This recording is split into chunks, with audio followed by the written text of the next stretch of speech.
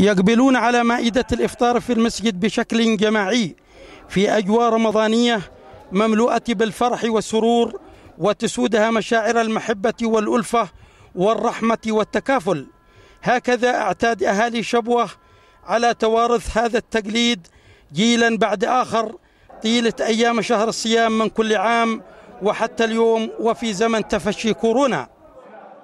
هذه ما هي إلا واحدة من المظاهر الرمضانية في محافظة شبوة فيما تتميز مدينة عتق القديمة في إحياء ليالي شهر رمضان بإقامة طقوس دينية من خلال ترديد المشحات والإبتهالات والمواويل الشقية مصحوبة بروائح البخور الزكية ما تضفي على الحاضرين الشعور بالسكينة والروحانية.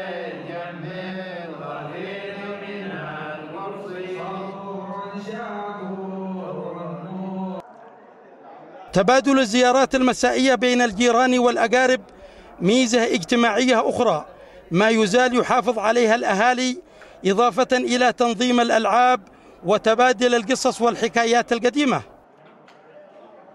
ثمة مخاوف قد تفسد هذه العادات والتقاليد مع تفشي وباء فيروس كورونا سيما أن الوقاية من هذه الجائحة تتطلب إلى التباعد الاجتماعي. زبين عطية اليمن اليوم محافظة شبوة.